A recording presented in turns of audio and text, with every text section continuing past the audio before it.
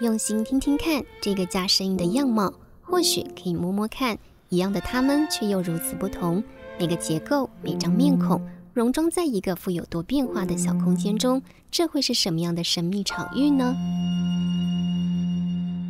王献川设计师善于图像与沟通，了解屋主内心真切的向往，构筑符合需求与想象的空间。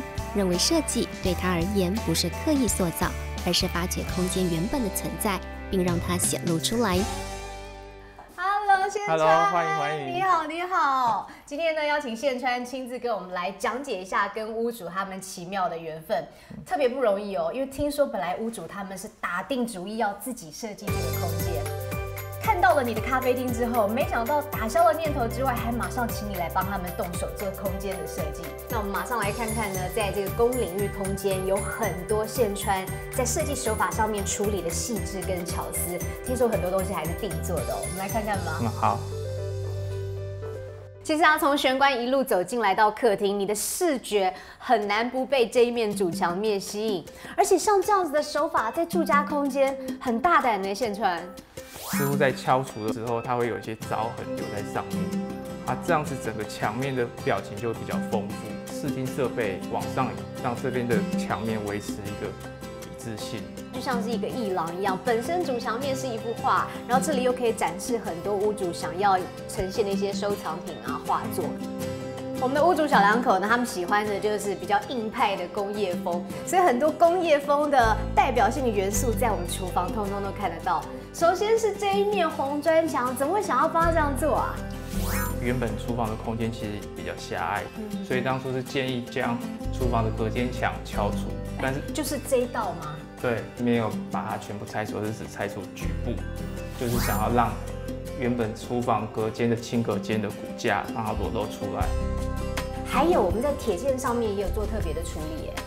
因为它原本是厨房隔间墙的骨架，用一根钢柱立在那边，当做一个视觉焦点。然后钢柱我是刻意切断，整个空间的铁件处理方式其实我用了三种，一种就是像这种钢柱，我就完全不去触，也不烤漆，就让它自然随着时间自然氧化。客厅主墙的黑铁板则是烤透明漆，虽然我们烤透明漆，但是它还本身还是会生锈氧化，只是它氧化速度会比完全不烤漆的速度慢很多。不同的铁件空间过了三五年之后，它的样貌会不一样。除了这三种铁件处理方法，还有一个比较特别的是烤绵绵漆。绵绵漆，对我是用在。工作区书柜的铁件上面，我们可以去看一下。好啊，我们去感受一下绵绵漆是什么质感。